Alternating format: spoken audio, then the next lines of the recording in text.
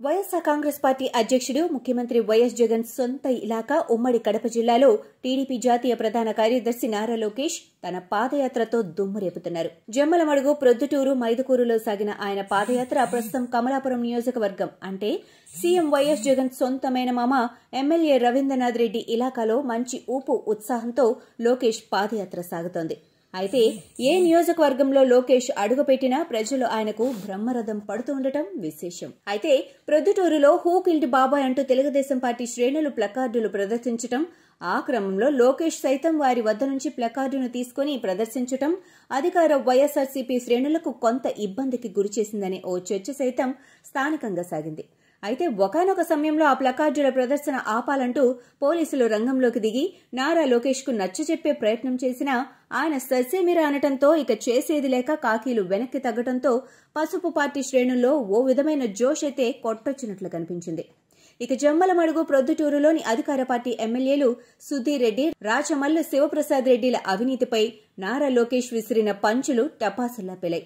ఈ పంచులతో స్థానిక ఎమ్మెల్యేల అనుచర వర్గాలను కొంతలో కొంత ఇబ్బందులోకి నెట్టినట్లయిందనే ఓ చర్చ సైతం స్థానికంగా వైరల్ అయింది అలాగే జగన్ పాలనలో చోటు చేసుకున్న విధ్వంసం టీడీపీ అధికారంలోకి వస్తే ప్రజా సంక్షేమం కోసం చేపట్టనున్న విధి విధానాలను ఇప్పటికే లోకేష్ ప్రజలకు స్పష్టం చేస్తూ వస్తున్నారు. మరోవైపు రాయలసీమలో ఇప్పటివరకు లోకేష్ చేపట్టిన పాదయాత్రలో ప్రజల కష్టాలు కన్నీళ్ళు యువత ఆశలు ఆశయాలపై చినబాబు ఓ స్పష్టమైన అవగాహనకు వచ్చారని ఈ నేపథ్యంలో జూన్ ఏడో తేదీన కడపలో టీడీపీ అధికారంలోకి వస్తే రాయలసీమ ప్రజలకు ఎటువంటి పథకాలు అమలు చేస్తామో అలాగే యువత కోసం తీసుకొచ్చే ఉపాధి అవకాశాలు అదేవిధంగా రైతుల కోసం చేపట్టే పలు ప్రాజెక్టుల వివరాలను సైతం నారా లోకేష్ ప్రకటించనున్నారనే ఓ చర్చ అయితే పాదయాత్రలో సాగుతోంది. ఇంకోవైపు ఇటీవల రాజమహేంద్రవరంలో జరిగిన మహానాడులో టీడీపీ తన మేనిఫెస్టోను ప్రకటించింది.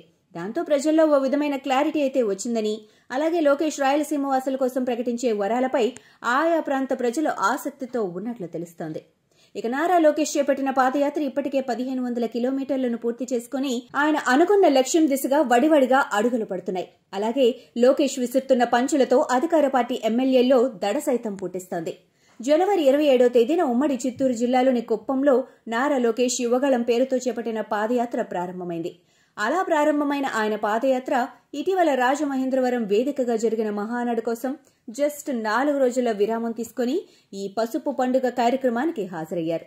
అనంతరం నారా లోకేష్ మళ్ళీ తన పాదయాత్రను పునః ప్రారంభించారు. ఆ క్రమంలో కడప జిల్లాలో లోకేష్ పాదయాత్రకు ప్రజలు పోటెత్తుతున్నారు.